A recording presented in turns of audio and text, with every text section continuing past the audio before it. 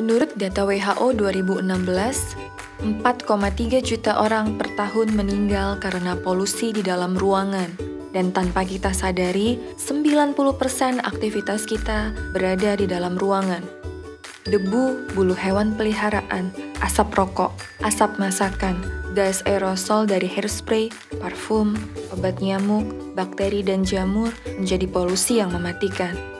Oleh sebab itu, untuk memastikan udara yang kita hirup bersih dan sehat, Samsung memberikan solusi dengan Air Purifier AX60R yang memiliki teknologi menyaring bakteri dan debu hingga 0,3 mm.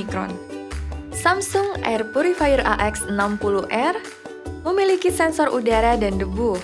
Alat ini dapat memberikan indikasi untuk kualitas udara dengan indikator yang dapat berubah menjadi empat warna berbeda sesuai dengan kondisi udara di dalam ruangan.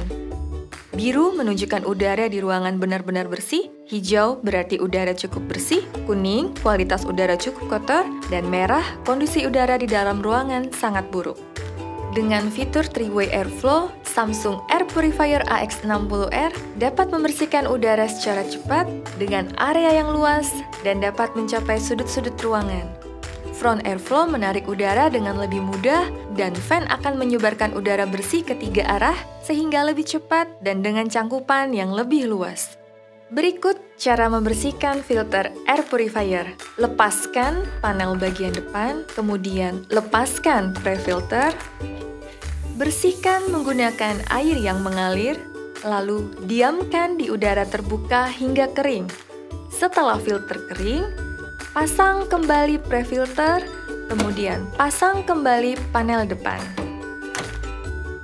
Samsung Air Purifier AX60R dilengkapi dengan fitur Auto Mode, sehingga air purifier dapat bekerja secara otomatis sesuai kebutuhan dan lebih hemat energi. Cara mengaktifkannya sangat mudah, sentuh tombol fan speed.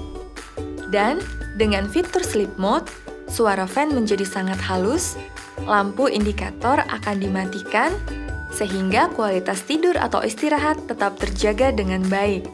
Cara mengaktifkannya sangat mudah. Cukup sentuh tombol sleep mode. Terakhir, mode chat lock. Untuk mengaktifkannya, sentuh tombol PM digit hingga terdengar bunyi bip. Untuk menonaktifkannya, sentuh kembali hingga terdengar bunyi bip.